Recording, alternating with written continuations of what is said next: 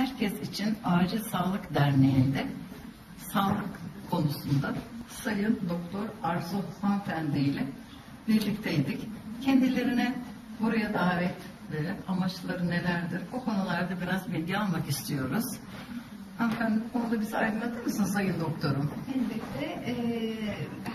Acil Sağlık Derneği'nin e, davetlisi olarak katıldım.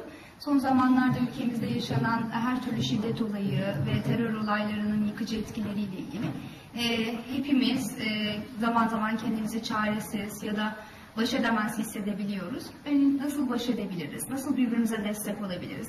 Hem kendi ruh sağlığımız hem çocuklarımızın ruh sağlığı açısından neler yapabiliriz? Biraz onlardan söz etmeye çalıştım.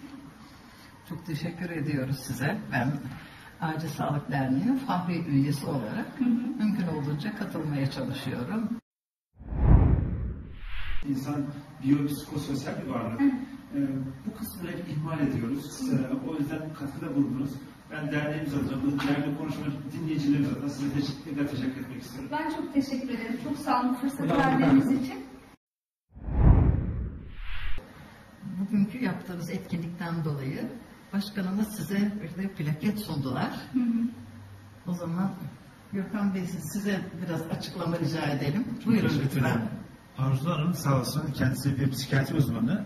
Ee, kendisinden rica etmiştik çünkü çok güncel bir konu. Stres, dediğim gibi şehit haberleri, afetler, e, bombalamalar. Hepimiz çok etkileniyoruz. Çocuklarımız çok etkileniyor. Bunlarla nasıl baş edelim? Bu konuda bilgilenmek istedik. Kendilerini davet ettik. Herkes için Acil Sağlık Derneği olarak. Sağ olsun Hanım da bizi kırmadı. Geldi, bildiklerini paylaştı. Ee, Kendisi konuya çok hakim. Zaten e, psikiyatri uzmanı. Aynı zamanda psikoterapist. E, Beden dili, sunum teknikleri, sorulan sorulara yerinde ve doğru cevaplar ve en önemlisi sakinliği ve güzel cevaplar gerçekten yani sıcak cevapları bizi beni çok etkiledi. Kendisine hepimiz adına tekrar teşekkür etmek istiyorum. Ben teşekkür ediyorum.